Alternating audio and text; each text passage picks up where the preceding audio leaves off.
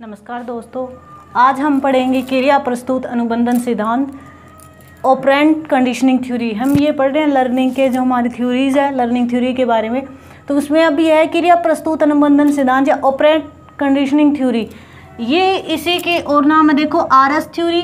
इसी को कहते हैं मीनिंग रिस्पॉन्स ट्यूमलस थ्योरी नेमेटिक अनुबंधन सिद्धांत, सक्रिय अनुबंधन सिद्धांत, अभिकर्मित अनुबंधन अनुदेशन, सिद्धांत ऑपरेंट कंडीशनिंग थ्योरी ये क्या इसके बाकी नाम? ये किसने दिया था? बी एफ़ स्किनर ने दिया था। कब दिया था? 1968 के अंदर हमें क्रिया प्रस्तुत अनुबंधन सिद्धांत दिया। इन्हीं की एक बुक थी बी बी एफ़ स्कैनर की technology of teaching technology of teaching के अंदर इन्होंने ना माइक्रो टीचिंग और प्रोग्राम इंस्ट्रक्शन की बात की थी। मीनिंग माइक्रो जो शिक्षण है हमारा उनके बारे में और अभिक्रमित अनुदेशन के बारे में दो ये वर्ड्स किसने दिए थे? बी एफ़ स्किनर ने ही दिए थे। मीनिंग इनके बारे में भी, भी हमारा बी एफ़ स्किनर ने बताया कि माइक्रो टीचिंग क्या है प्रोग्रामेटेड इंस्ट्रक्शन क्या होती है अभिक्रमित अनुदेशन क्या है। इनके लिए भी श्रेय किसको जाता है? बी एफ़ स्किनर को जाता है।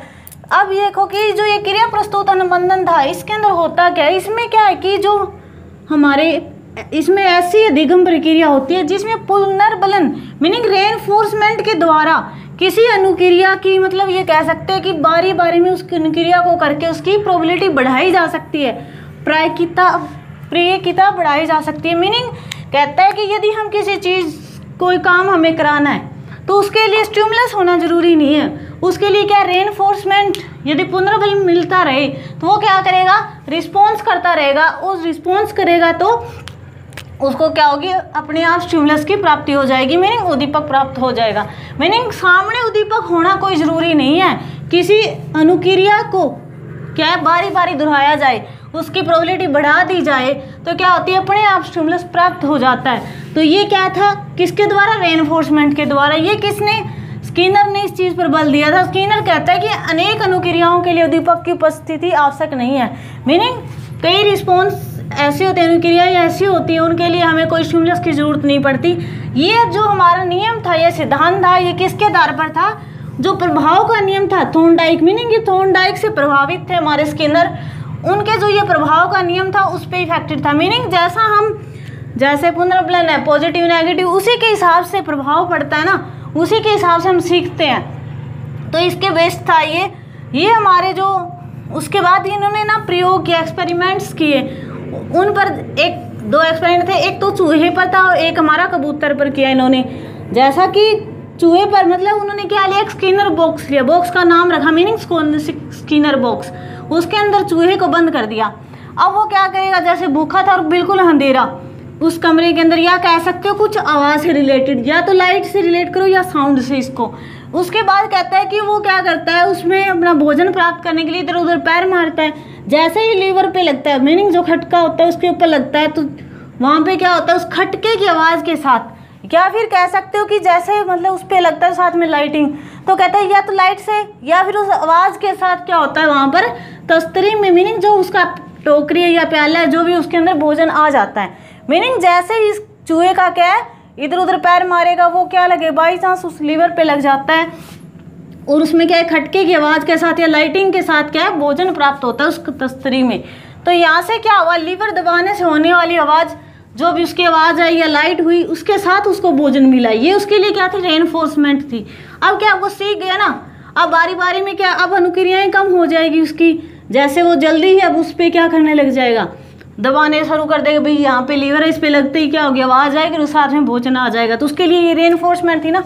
तो पहले तो उसको ये नहीं पता था ना, उसको दिखाई तो नहीं दे रहा था कि भोजन पड़ा है सामने, या कहीं भी। वो तो भूखा था, वो अपनी अनुक्रियाएँ कर रहा था रिस्पॉन्स दे रहा था पहले। उसने तो रिस्पॉन्स दिया था। लास्ट में उसको क्या मिला? स्टिमुलस मिला। पहले तो वहाँ पे कोई स्टिमुलस उसको दिखाई नहीं दे रहा था अपने सामने। तो इसका मीनिंग जैसे जैसे अनुक्रियाएँ करेंगे, उसके अकॉर्डिंग हमारा स्टिमुलस हमें प्राप्त हो जाता है। मीनिंग ज़रूरी क्या है? यहाँ पर रे मीनिंग पुनर्बलन ज़रूरी है। पुनर्बलन मिलेगा तो उसकी अनुक्रियाओं की जो दुराने की प्रोबेबिलिटी है, वो बढ़ती जाएगी, वो और करेगा। मीनिंग भी उसको कुछ पॉजिटिव मिल रहा है, वो क्या करेगा? उस चीज़ को पाने के लिए और अपनी कोशिश करेगा या दोहराएगा उन चीज़ों को।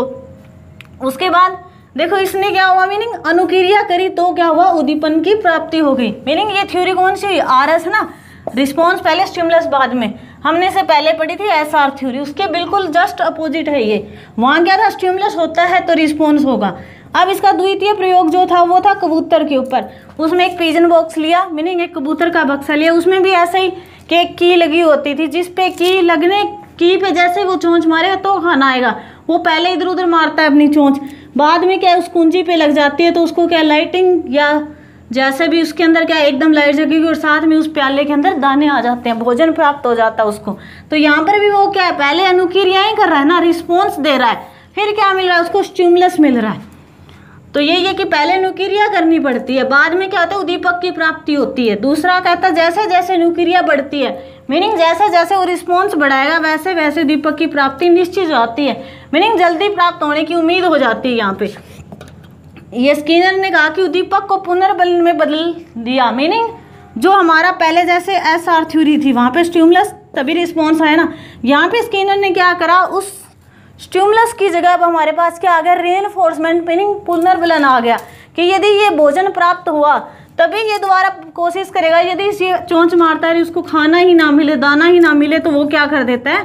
कुछ टाइम बाद वो बंद कर देता है अपनी क्रिया रिस्पॉन्स बंद हो जाएगा ना उसका। तो यहाँ पे एक है कि स्किनर ने अपने उदीपक को किसमें बदल दिया? पुनर्बलन के अंदर। ये चीज़ ध्यान रखना यहाँ पे, ठीक है?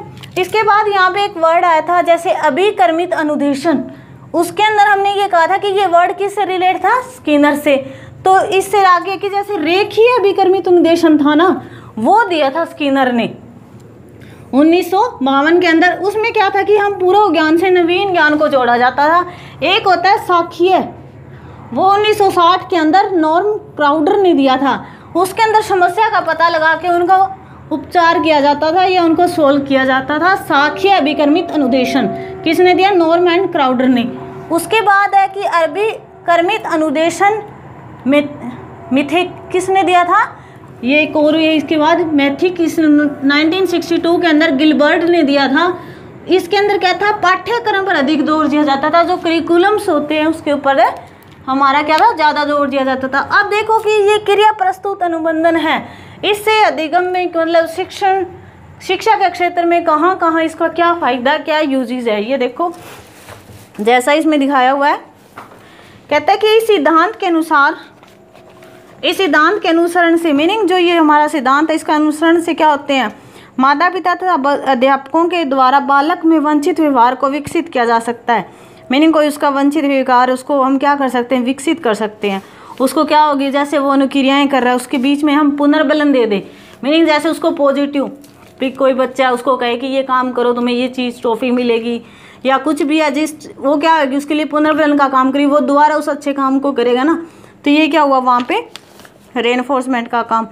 इस सिद्धांत यह सिद्धांत अच्छे कार्य तथा सफलता अथवा वंचनीय व्यवहार के लिए तत्काल पुनर्बलन देने पर बल देता है। मीनिंग मेन किस चीज़ पे फोर्स देता है? रेनफोर्समेंट पर। यह कहता है कि अभिकर्मित अधिगम का प्रतिपादन तथा शिक्षण मशीन का विकास इस अधिक सिद्धांत के व्यवहारिक उपयोग का ही परिणाम है। मीनिंग जो ये सिद्धांत है ना, इसका रिज़ल्ट हमारे पास क्या आया? जो अभिकर्मित अधिगम था, वो आया और दूसरा क्या आया? शिक्षण मशीन का विकास हुआ। टीचिंग मशीन जो आई, वो इसी के आधार पे थी। अभिकर्मित अधिगम कब आया? उन्नीस सौ चौवन में शिक्षा के क्षेत्र में आया। मतलब इसका रेखीय जो था वो स्किनर ने उन्नीस सौ बावन के अंदर दिया था ना, इससे रिलेटेड ही था वो। उसके बाद है, गणित में पाड़े तथा भाषा में वर्तनी मतलब स्पेलिंग याद करते समय सिद्धांत का प्रयोग किया जा सकता है। उसके बाद है, यह सिद्धांत शिक्षा प्रक्रिया में अभिप्रेरणा के महत्व तथा आवश्यकता पर बल देता है। भी ये जो सिद्धांत है, वो किस पे बल देता है ज़्यादा हमारे अभिप्रेरणा के महत्व पर आवश्यकता पर? मीनिंग आवश्यकता है उसी के अकॉर्डिंग क्या करेंगे, कार्य करेंगे ना? व्यवहार प्रामाचन में सहायक है। अब इसके बाद देखो ट्रिक किसके जो नाम है वो कैसे याद करेंगे। कहता है कि स्किनर सक्रिय क्रिया करते हुए कक्षा को ऑपरेंट करता है। मीनिंग जो स्किनर वो सक्रिय क्रिया करता है। मीनिंग एक्टिव क्रियाएँ करते हुए कक्षा को ऑपरेंट करता है। तो स्किनर मतलब स्किनर ने दिव्य ऑफ़ स्किनर क्रिया मीनिंग क्रिय अनुबंधन का सिद्धांत, क्रिया मीनिंग क्रिया प्रस्तुत अनुबंधन का सिद्धांत operant meaning operant conditioning theory ये थे आज की हमारी क्रिया प्रस्तुत, अनुबंधन सिद्धांत operant conditioning theory of learning thanks video पसंद आई तो like like share and subscribe ज़रूर करें। मिलते हैं नेक्स्ट वीडियो में नए कंटेंट के साथ। Thanks again